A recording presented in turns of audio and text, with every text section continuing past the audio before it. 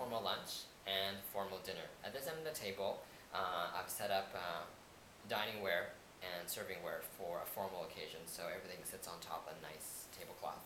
And there isn't a huge difference between lunch and dinner in terms of the quality of the items used, but perhaps it's just the number of the items. It's less for lunch because there's less being served for lunch versus for dinner.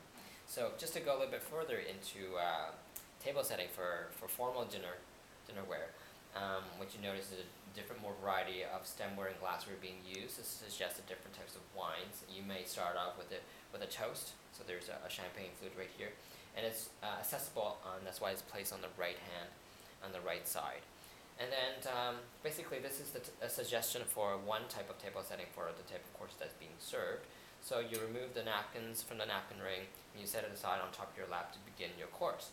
So at any given time there's a maximum of three implements on the left right side of your plate.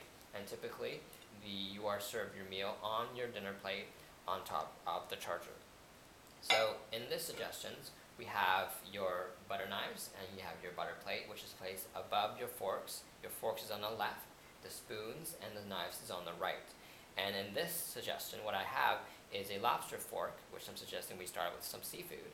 And then you may need to cleanse your fingers in between. For this reason there is a finger bowl placed right here. You may also be served soup. And for this reason there is a soup spoon. You may also be served a salad for this reason there is a salad fork. And then after the appetizers of the first few courses, you may be heading into your main course, and for this reason you have your dinner fork, which is the most substantial in, in weight and also in size. And then you may also have your dinner knives here as well, depending on whether you're serving fish or meat, for example. So steak knives may be exchanged by your server, your waiter, on your table. And um, towards the, the end of your dinner, of your meal, typically your glassware and your stemware is removed so that tea and coffee may be provided to you on the right side in place of your um, wine glasses. And definitely to finish off, we have tea and coffee, and also we have, um, for this reason, you have your, your teaspoons right here, and also desserts. For this reason, there is a um, dessert fork that's served provided for you for use.